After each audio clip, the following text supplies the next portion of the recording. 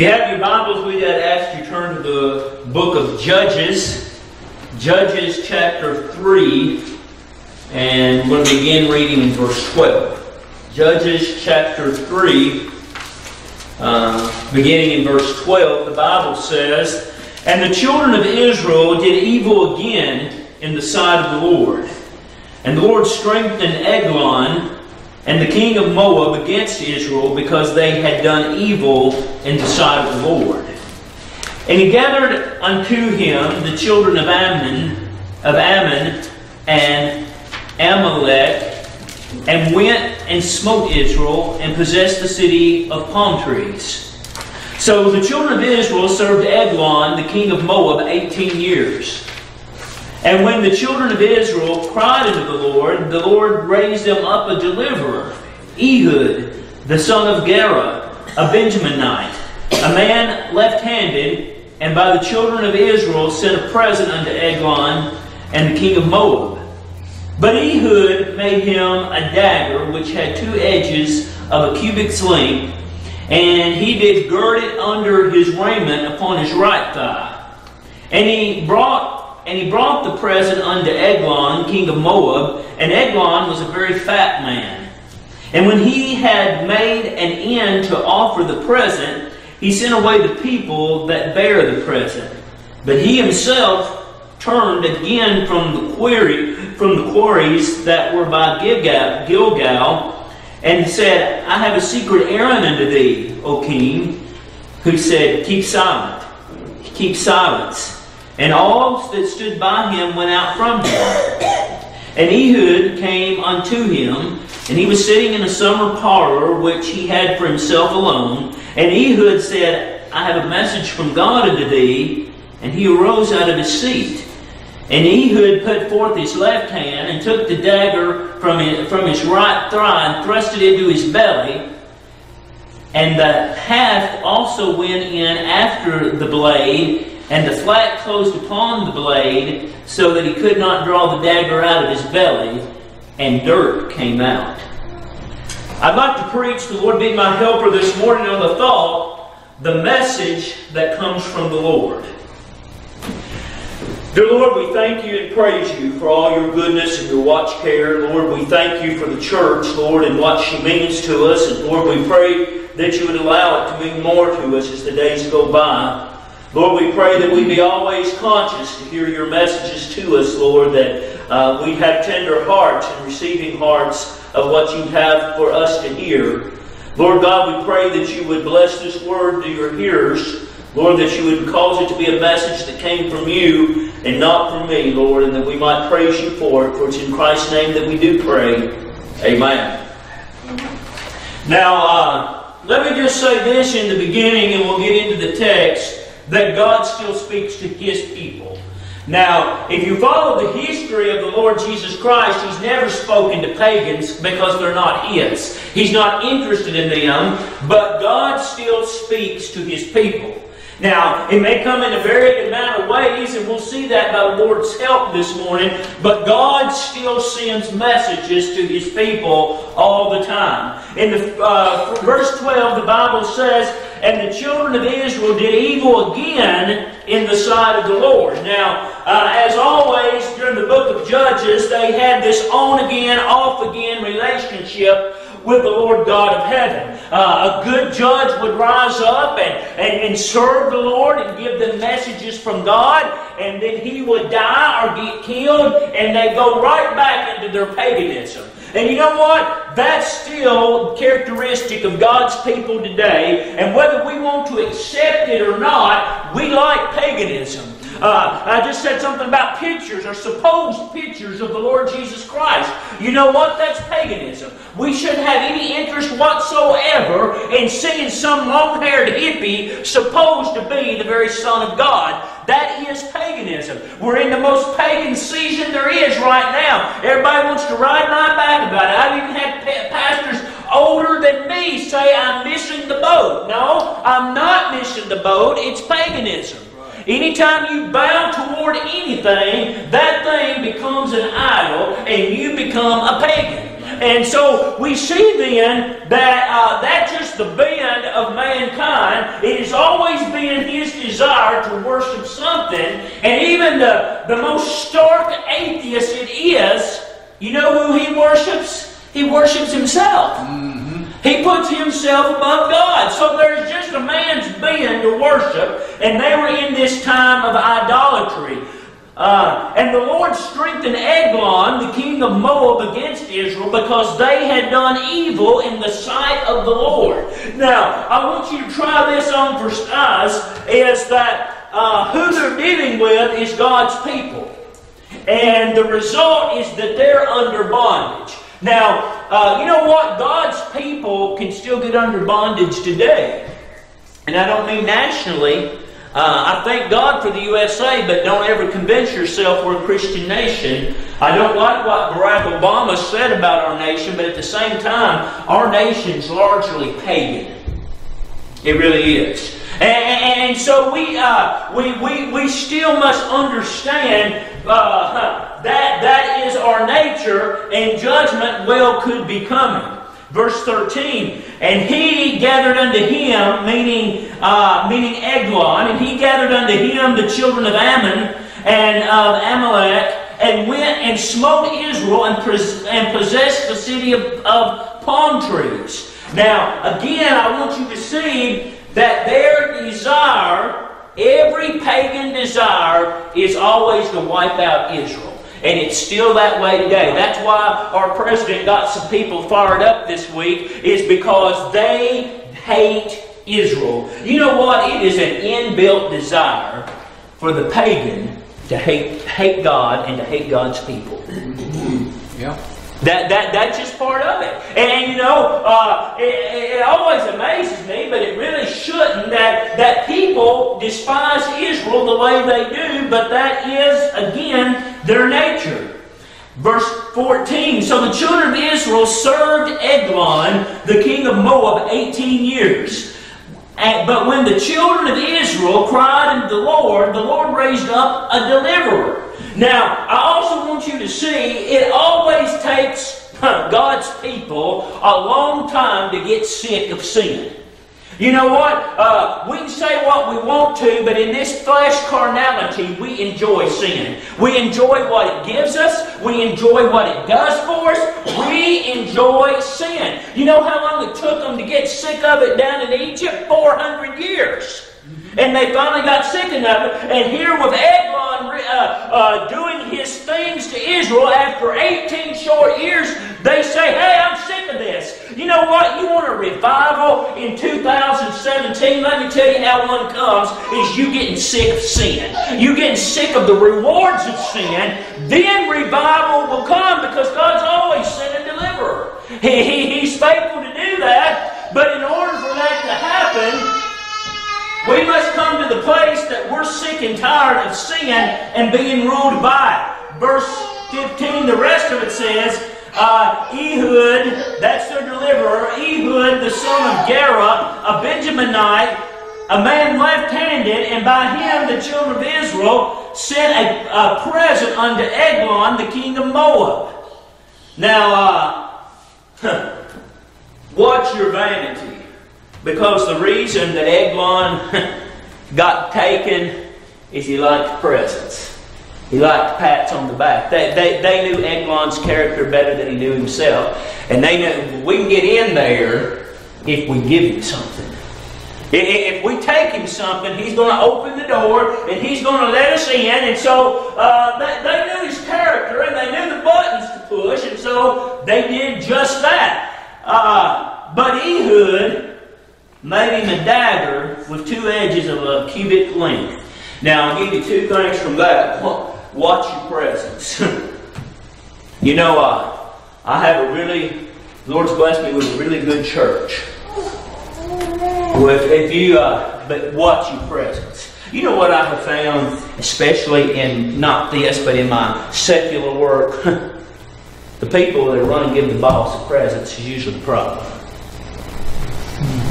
Uh, that, that, that's usually that's usually what the case is. So Ehud uh, knew exactly what, uh, what, what to do. And I also said that I also want you to see He made him a dagger. See, uh, if we're going to serve God the way that He desires to be served, you're going to have to have some kind of plan. You know, the one thing about sovereignty is uh, it's just like God's going to cram everything right down our throat. That's not true. See, Ehud knew what had to be done, so he made a plan to how to get it done. And not only did he make a plan, said, well, you know what his plan was? I'm going to stab and kill Ehud. I, I mean, I'm going to take care of the problem. And you know what? It was to such a point he even had to build something to get the job done. You know what? That takes a little bit of time. So this morning, do you do you have a plan in place that you're going to serve the Lord? Because see, the thing it is, if you don't, you're not. If you don't have a distinct plan, you'll waste the bulk majority of your life on something that amounts next to or less than nothing. If you don't have a plan, it, it, won't happen that way. So I want you to see Ehud had a plan to take care of the problem that was, and the problem was Eglon. He was going to take care of him. Now, verse 17. And he brought the present unto Eglon, king of Moab, and Eglon was a very fat man. And when he had made an end to offer the present, he sent away the people which bare the present. And so I want you to get the full picture of what's going on here. Is that Eglon has a group and Ehud has a group. Somebody, uh, I don't know how many men, number of men brought the present in to, uh, to Eglon, and Ehud had a group there that helped him bring it in, and he dismissed them. And then Ehud said, Eglon, I got a message from God. So then he sent his out. You know, it, it, it, sometimes, and you know what? This is the truth. Ehud did have a message from God. Now, it wasn't what Eglon wanted to hear, but it was a message from God. And you know what? Sometimes the message he sends us is not the message we want to hear, but it's still a message from God. And we, as the Lord's people, are still receiving messages from God. And we'll see in a minute, the bulk majority of the truth comes from the uncompromised Word of God. But whether we want to accept it or, or not, He does send messages other ways. You know what? I've been through that book cover to cover. And not one place in that Word does it say, Larry Lafferty, I want you to preach the glorious gospel of the Lord Jesus Christ. But he told me. You see what I'm saying? And, and so then we as the Lord's people, what we need to do is look for the Lord's messages because his messages will guide us, his message will direct us, and, and, he, and we can be in the center of God's will when we follow what He's given us to do. And so I want you to see that we as the Lord's people are, are the center of what we do should be following the Lord Jesus Christ. I want you to see in verse 21, uh, excuse me, uh, verse 19, but he himself turned against from the quarries that were by Gilgal and said, I have a secret errand unto thee, O king, who said, Keep silence. And all, and all that stood by him went out. Now, sometimes a message from God is very easy to deliver. Sometimes uh, when you begin to speak on the glories that are yet to come and, and standing in the presence of the Lord Jesus Christ and the Almighty God of heaven, you know what? That, that, that is a wonderful thing. But when you, when you have to preach, you must be born again. That's a little bit more difficult. Everybody says, well, that's a glorious message. Yes, it is. But if you preach it right, this is the fact. I contributed nothing to my natural birth.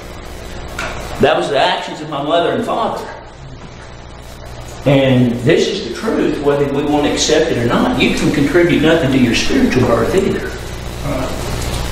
So, you see why some messages are great and fun to preach, if you will, and some them's a little more difficult.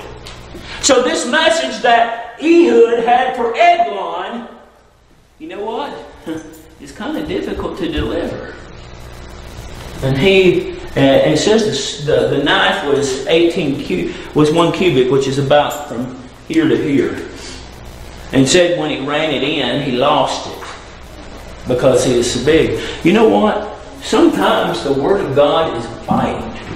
It hurts. You know what that that that wound that Eglon had? It, it, you know, when we read stuff in the Bible, we almost read like it was like it was you know just a fairy tale. But you know what? Eglon was stabbed with an 18-inch knife and it remained inside of him. That's a real thing. You know what? I've never been stabbed with anything like that, but could you imagine the excruciating pain that Eglon experienced? That's a real deal. And not only is it a real deal, it was God's plan. It was God's plan. And, and, so then we as the Lord's people uh, ought to take very seriously looking for the message of God, looking for what He has for us, what He is saying to us. Now go with me to the Gospel of John. John chapter 1, very familiar verses of Scripture, but I want to review them and be sure that we get the full meaning. John chapter 1, in the very first verse, Gospel of John, chapter 1, in the beginning was the Word. Now, let me say this. Uh, everything else settled, all the dust, doesn't matter what else is going on around you, no matter what Aunt Polly said and, and what this one said and that one said. In the beginning was the Word. In other words, this trumps everything. The Word of God trumps everything. I don't care what you feel. I don't care what somebody told you. If it's in the Word of God, take it. And if it's not in the Word of God, leave it. You know what? When, when the Lord, when the Lord said, uh, when the Lord God said to the uh, the nation of Israel, "Come out from among them," it meant leave that paganality. But who, who carried their pagan idols with her when they headed out? Does anybody know that?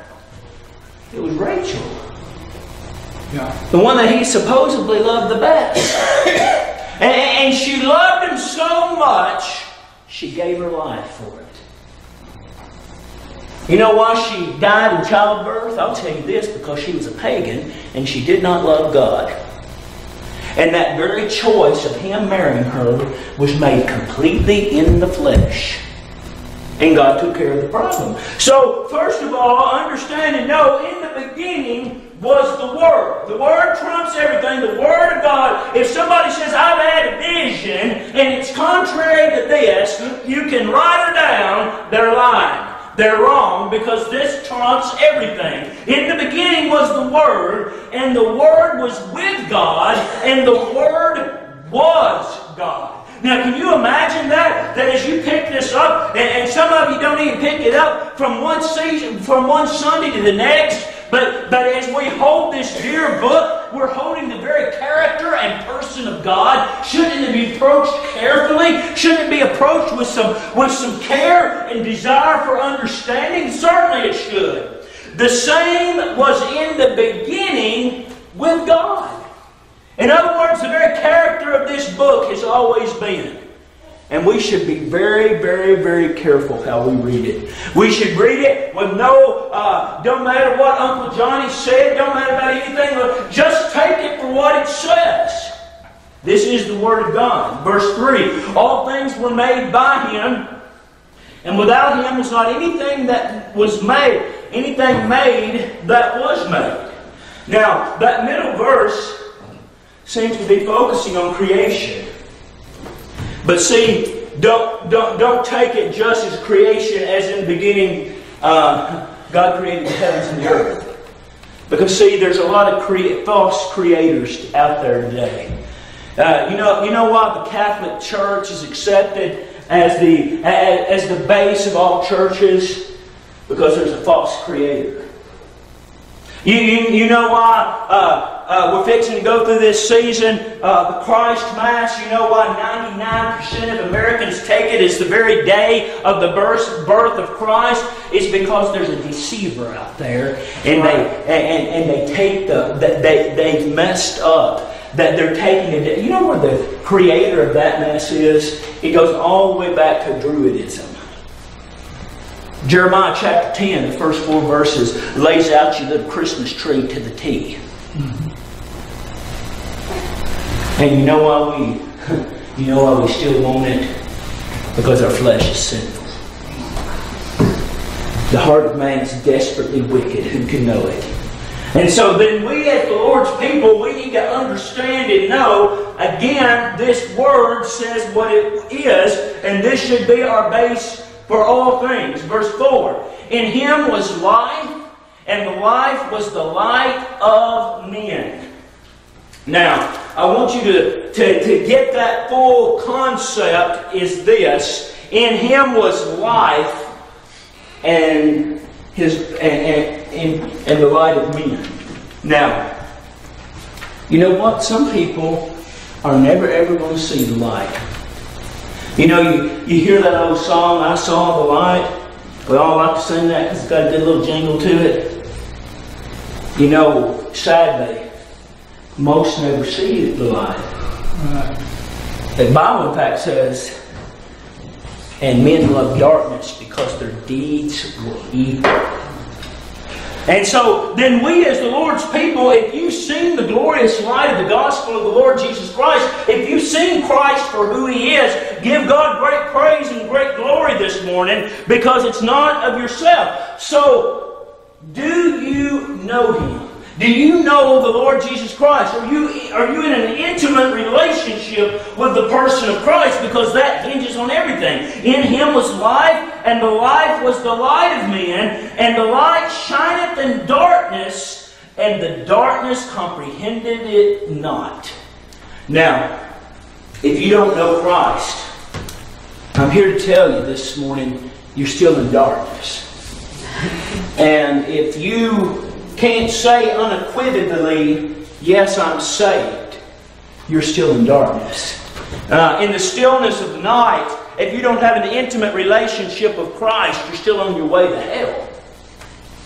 And, and, and, so we see then that, that the very base thing that we can that we can base our, our, our relationship and base, base the truths of the Word of God are in this book. And a lot of what we take as downright plain gospel truth is just not in here. What does the Word of God say? When did the church start? How do you get into it? Was the thief on the cross in the church? Did he go to paradise? What's paradise about? Does paradise still exist today? It's in the Word. It's in the Word. You, you better know what this Word teaches because you know what? Remember the old false prophet and, and the young prophet? The young prophet was to go in and give him a warning and keep going out the same, uh, the opposite, just make a straight trip through. But that, that false prophet said, Oh, I'm a prophet as you are. Come in and eat a spell. And see, the thing that is, it cost him his life. And if we're easily swayed, what it's going to what it's to cost you is your spiritual relationship with Christ. Does that mean you're lost again? No. If you're not, if you're genuinely saved, it don't. But I'll tell you this: you'll live a life most miserable. And, and most of that group probably never was saved to start with. And so then we as the Lord's people use this as your benchmark. Not what brother so and so told you or what their interpretation is. It you use the book and that's it. So that's our basis. That is our basis for everything else. Now go read Romans chapter 8. Romans chapter 8. And I want to read verses 14 through 16. Romans 8, verse 14, the Bible says this. For many, for as many as are led by the Spirit of God, they are the sons of God. Now, we have the Word of God, and now we have the Spirit of God. And I want you to see in your King James Bible, that's the big capital S Spirit, meaning the Holy Spirit of God or the Holy Ghost. And I want you to see that uh, the individuals are led by Him. Now, I want you to see that this is individualistic to people who are redeemed. In other words, He's not going to lead lost people. Don't ever, don't ever, don't ever think a lost person is going to get led. Now, I will say this: when an elect is being dealt with, the Holy Ghost is the one that does it. So if you have that urging in your spirit to know unto the person of Christ, that's the Holy Ghost. And He's always very faithful to do His work. But I want you to see that the Bible, the Bible says here very plainly that uh, that uh, the Spirit itself beareth witness with our spirit that we are the children of God. Now, I have a lot of people say there's no way you can know. Well, the Bible here says you can know. Does he bear witness? Yes. Or does he bear witness? No.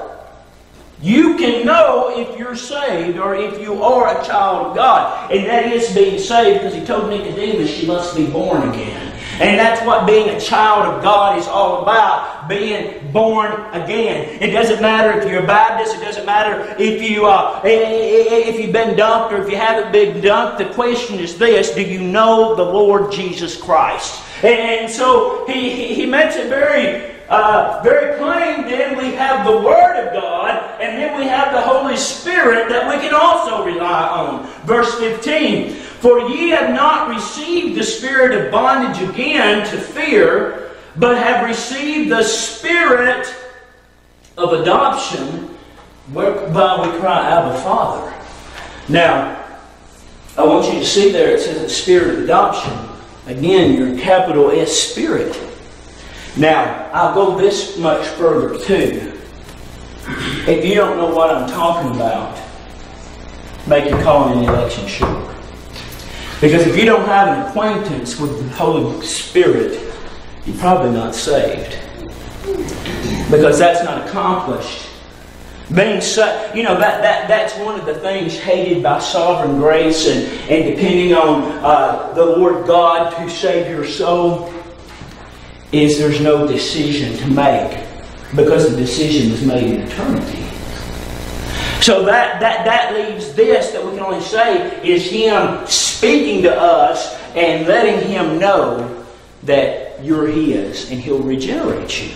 And that comes by the Holy Ghost, the Holy Spirit speaking to you in a very intimate and real way. And so, uh, how do you know you're lost? Yes, the Word of God says that we've all gone astray and we're all on our way to hell. How do you know that the, the that Jesus is the means of salvation? Well, the Bible says, "I am the way, the truth, and the life. No man cometh unto the Father by me, but what makes it real?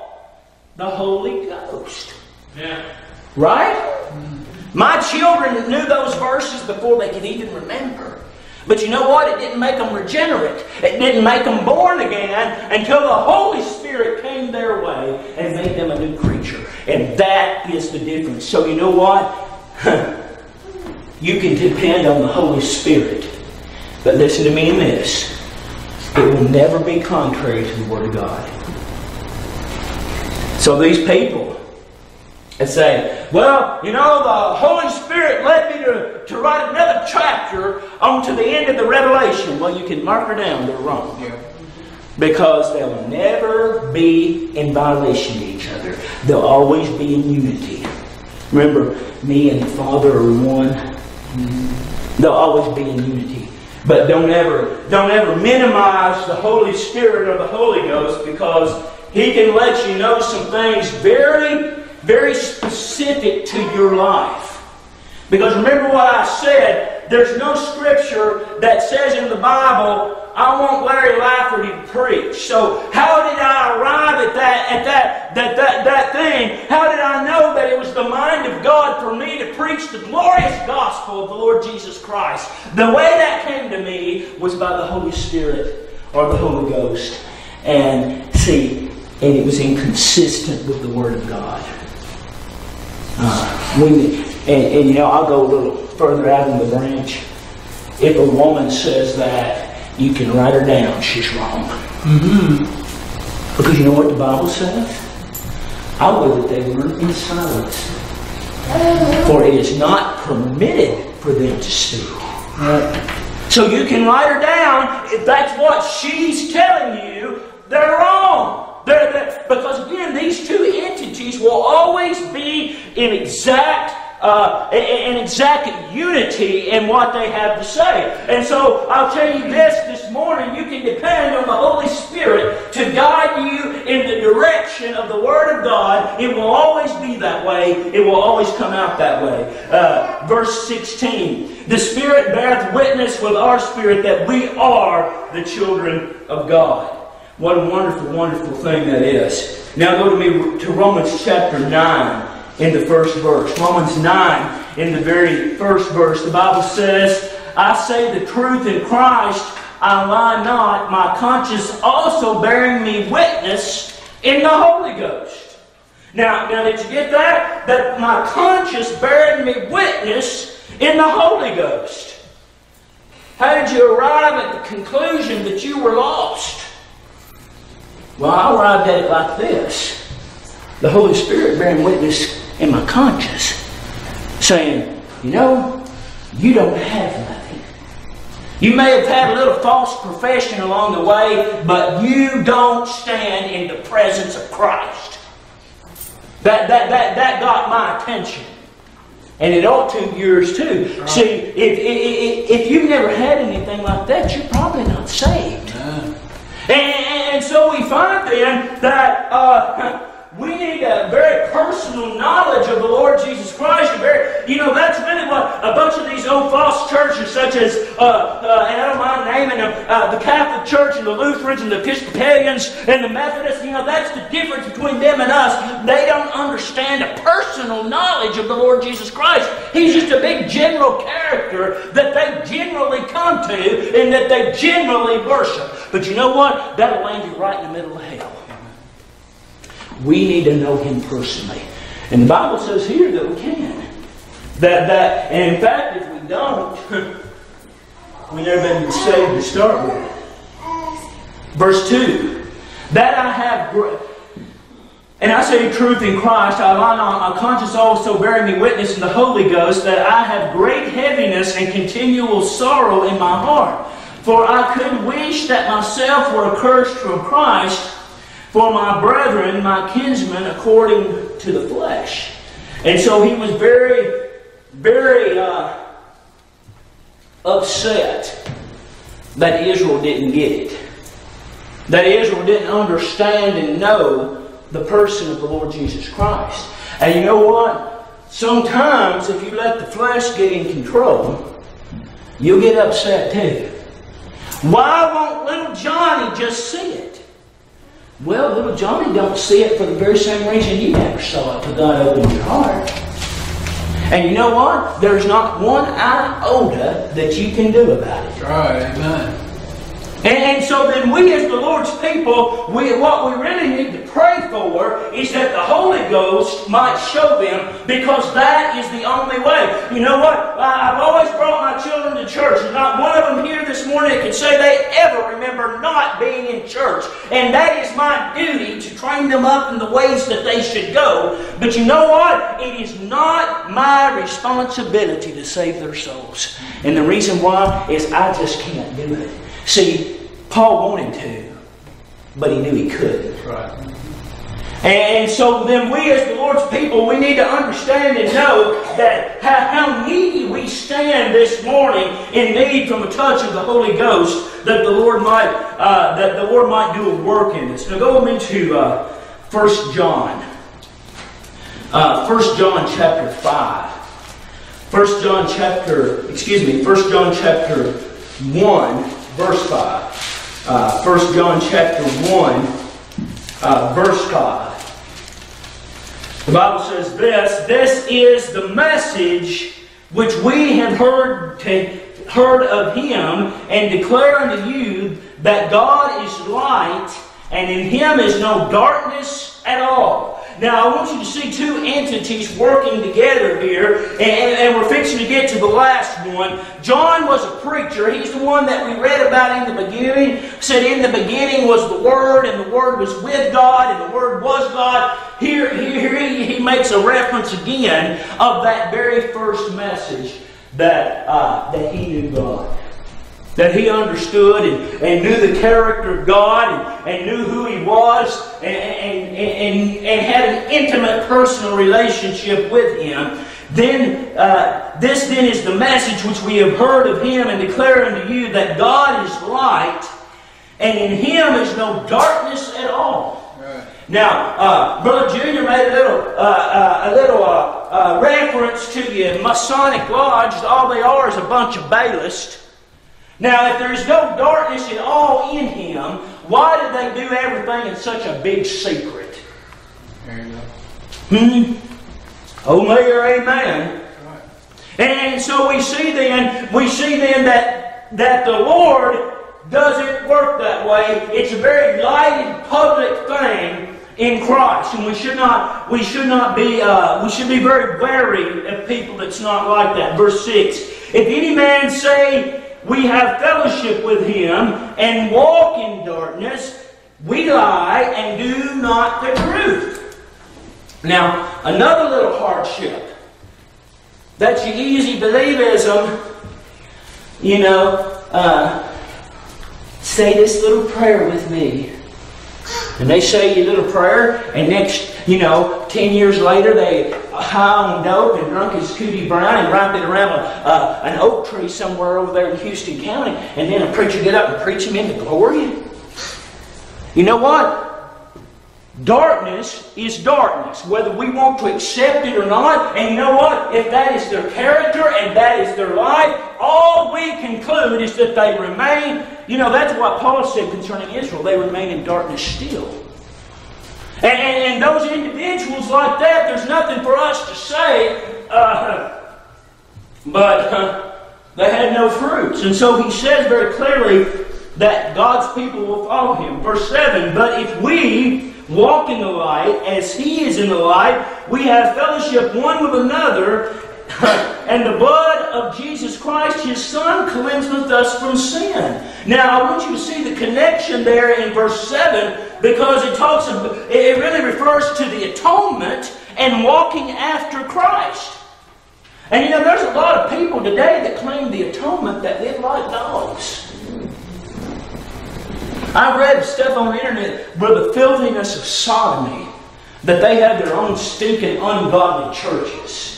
You know what that is? That's a stink in the nostril of God. And they, and I don't say this very often, but I'll simply say this they're not saved. They're just not. And, and so then we as the Lord's people, and don't, don't you ride in on grace to, to approve your filthiness. Don't you claim the blood of Jesus and the unmerited favor of God for your sin, because the Bible is very clear here that good works would follow them. Verse 8 If we say we have no sin, we deceive ourselves, and the truth is not in us.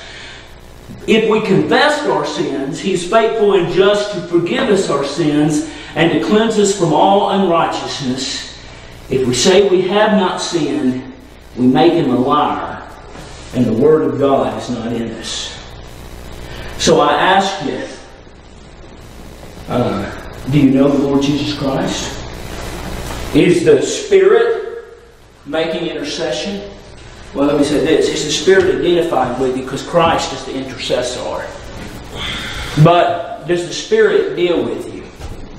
You know, and, and, we should never ride on emotionalism, and there's just as much guard against it as the flip side. But if you go in these churches and they're just and you're almost afraid to move. Be sure you're breathing right. and Look around and make sure you. You know, uh, I don't find that anywhere in the Word of God, do you? Certainly, the Bible says to do everything decently and in order. But it also says lift holy hands. Amen. It also says pray without ceasing. so then we as the Lord's people, we need to understand and know are we are we in the will of God? Are we are we following the Holy Spirit? Is He sending us things to do, or is He not? And that's where we must be. 1 Corinthians chapter number 1.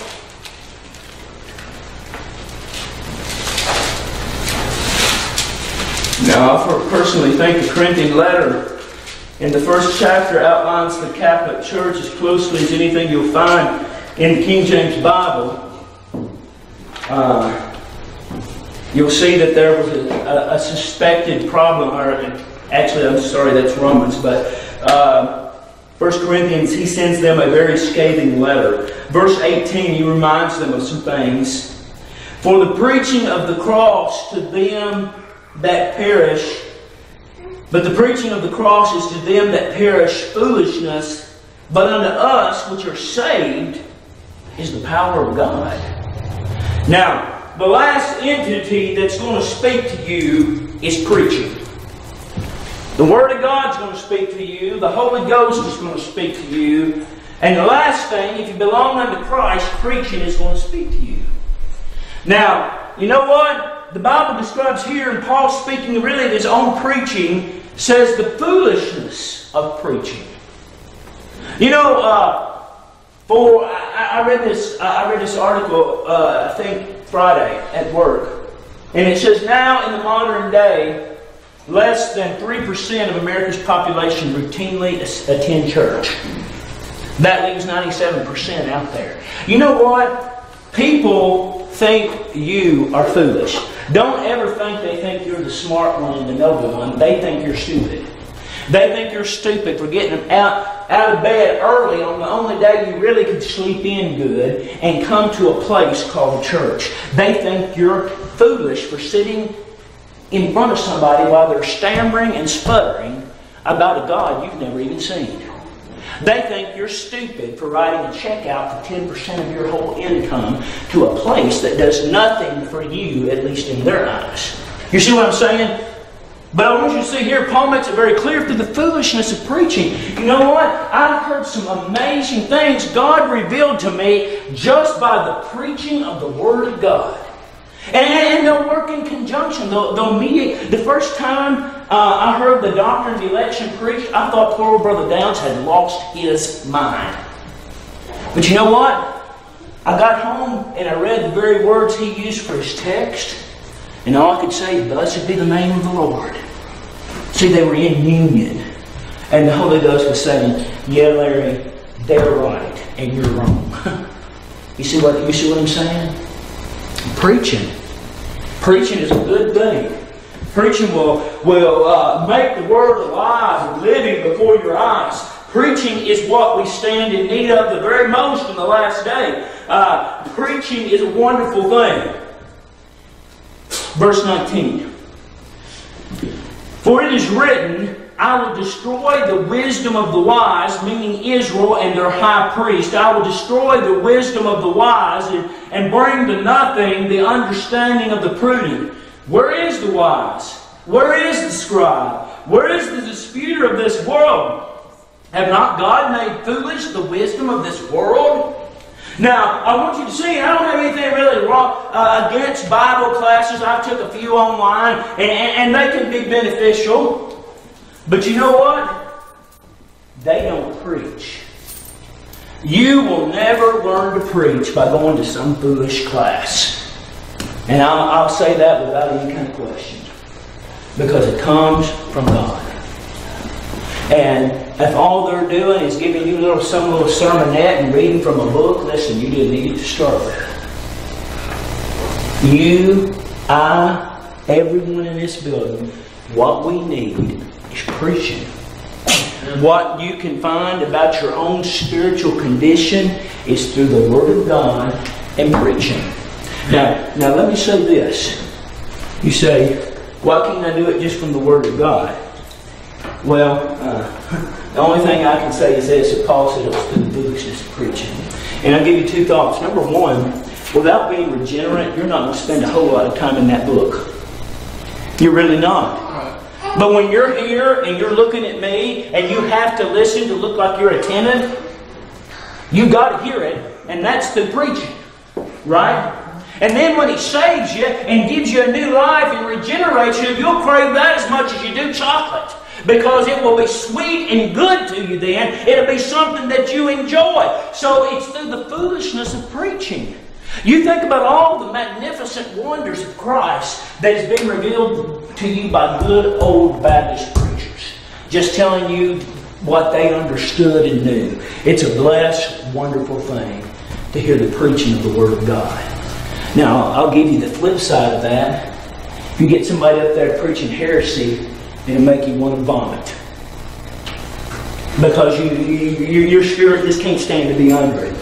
So we see then as the Lord's people, the Word of God, the Holy Ghost, and preaching is what we need. Verse 21.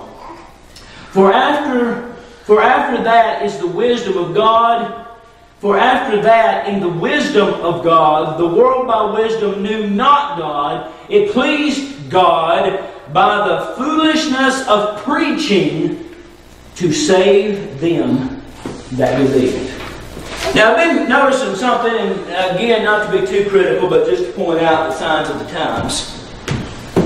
A lot of times now, when you go to a meeting, they don't say much about preaching. I've heard them even referred to as seminars. Listen, it ain't no seminar. We're, we're talking about the very Son of God. A series of meetings. God help us. We're here to preach the gospel of the Lord Jesus Christ. Who cares about a seminar? Who cares about a little talk that somebody does? I want to hear preaching that will help my never dying soul. Yeah. We need to be very, very cautious when someone comes your way. Know what the Word of God says. Know what the Word of God is teaching. And you know, the Bible says this. Remember, I think it's in 1 Thessalonians, Paul's advice to young Timothy was to try the spirits. And uh, you know what we need to do? if I and, and, and, Brother Eric years ago, he asked me uh, a question concerning Eve, the mother of all living. And there is a heresy out there, and it comes from the Jewish faith, that Eve wasn't deceived, but it was a different woman. And I used to know her name because I looked it up because he told me. And, and you know what I needed to do? I knew it wasn't in the Bible, but I wondered where it came from. I tried the spirits. I looked into the Word of God, it wasn't there. Okay. I studied out a little bit further and I found out it was a Jewish fable. Uh, and I studied out a little bit further Uh, and prayed. And the Lord just said, you know, this is trash. This is trash. It, it doesn't mean nothing. I tried in the spirits, and you know what? It came out with nothing. And that's that's what we as the Lord's people need to do as well. We need to try these things out. So this morning, how are we going to hear from the Lord God? How are we going to evaluate stuff? As the last day approaches, how are we going to get comfort in a world that's being turned literally upside down? It's going to come from these three sources. So what about you? Where do you stand this morning? Are you comfortable with the way things are? Listen, um, whether we think what their capabilities are or not, and I, I think he's an idiot. But Kim Jong Su, or who, whatever it is, he could reach the United States right now with nuclear weapons. Uh, and people say, well, it'll never happen. you know what I say? I bet Japan thought the same thing. But we dusted two cities in two days, did we not? See, what we need to be is be close to the Lord right now. And the only way that you'll get there is through the Word, through the Spirit, and through preaching. How close are you this morning?